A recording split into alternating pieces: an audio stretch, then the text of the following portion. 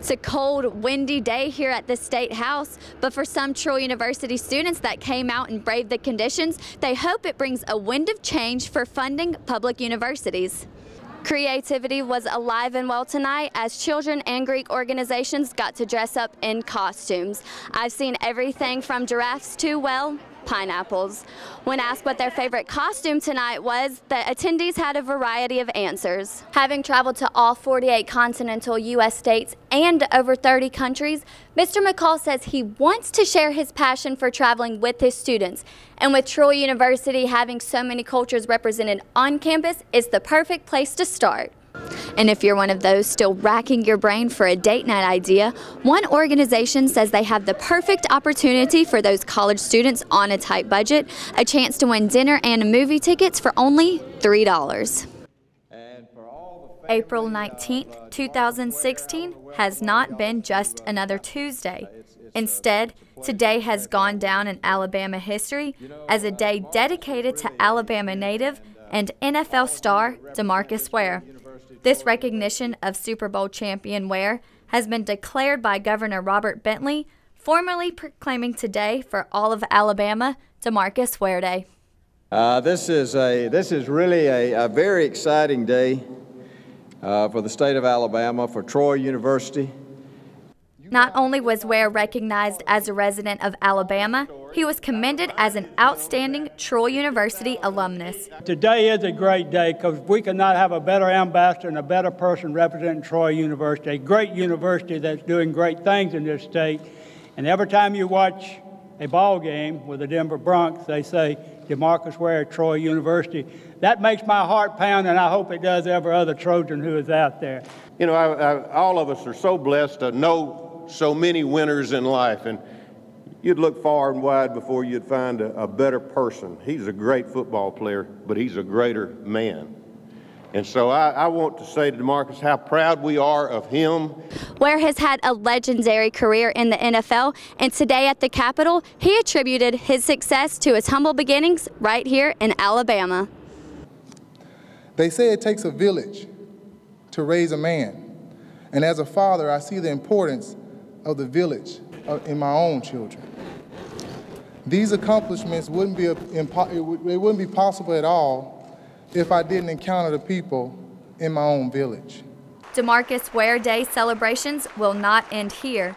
They will continue well into the evening at Trojan Arena as Ware will be presented Troy University's 15th Distinguished Leader Award. In Montgomery, Devero Bogart, Troy, Trojan Vision News a parade, music blaring, people cheering and chanting are all ingredients for a rally. And that's exactly what happened Thursday afternoon on the State House steps as Troy students were some of the hundreds gathered contesting for Higher Education Day. So today is Higher Education Day, which is where university students from across the state of Alabama come and we uh, rally for more money for higher education. I think it's very important for all of us to come out because it, um, it not only affects one person, but it affects all of us, all the public universities of Alabama. So if we want our voices heard, then we have to come out here and talk about it. It's a cold, windy day here at the State House, but for some Troy University students that came out and braved the conditions, they hope it brings a wind of change for funding public universities. I really want legislators today to realize just how important higher education is. Uh, so many people kind of put it on the back burner and don't really realize what higher education does. But later on today, you'll hear more statistics, and you see statistics here uh, actually at the actual rally that really talk about the impact that higher education has on the state of Alabama and the United States as a whole. We're definitely doing our part with communicating, and I think that our legislators should be out here and communicating with us and really have an understanding of really what we want and uh, that we are students that have needs. Troy University SGA President Heath Barton spoke on behalf of acquiring more financial support for secondary education, while Alabama Public University students chanted the words one third again and again, lobbying to the legislature inside for more money. I just want them to hear our voices, let them know that um, you know we're very serious about wanting this one third um, funding from them. Right now it's at 12 percent, so that we need 33 uh, percent of the education trust fund. Troy University was among 14 public universities represented at Higher Education Day. In Montgomery, Devero Bogart, Troy, Trojan Vision News. This past year, the nation celebrated a major anniversary of a defining moment in the civil rights movement. And this week, the Troy University Rosa Parks Library and Museum is celebrating an influential woman who helped bring about this change. February 4th, the Montgomery Museum will celebrate what would be Parks' 103rd birthday. Scheduler of Rosa Parks Museum, Donna Beasel, says they have a full day of events planned open to the public. The biggest thing is we have free admission for everybody to both the children's wing and the main wing that day. Um, we're also handing out birthday cake as long as it's available. Um, there are going to be students from Bellingrath School, um, Middle School, which is an area middle school, um, who are going to be singing here in the foyer. And then we are having a one woman show from a student at Troy who is doing a Rosa Parks show down in our auditorium. While this isn't the first year that the Rosa Parks Museum has celebrated her birthday, they have revamped the event in hoping to get more community involvement. The last several years, they haven't really done much community involvement as far as getting the community involved in celebrating and honoring her. So that's something that we've tried to do this year with the Troy community as well as the, the Montgomery community. Beasel hopes that this is just the beginning of the community being involved in the celebration and that in the future years it will continue to expand. We want to continue with the community involvement and expand that to get more because this year it's really just the one school that we're working with, but to try to get at least all the middle schools involved. Um, seventh graders when they do history or uh, civics, I'm sorry, and cover the civil rights movement. So we really like to get those seventh graders more involved with things that go on, but also just get families more involved from, from the community. The museum will be open for free tours on Thursday from 9 a.m. to 5 p.m. In Montgomery, I'm Devero Bogart, Troy, Trojan Vision News. September 24th was not just another Thursday for some Troy University students. Instead, it was a celebration of their life and culture.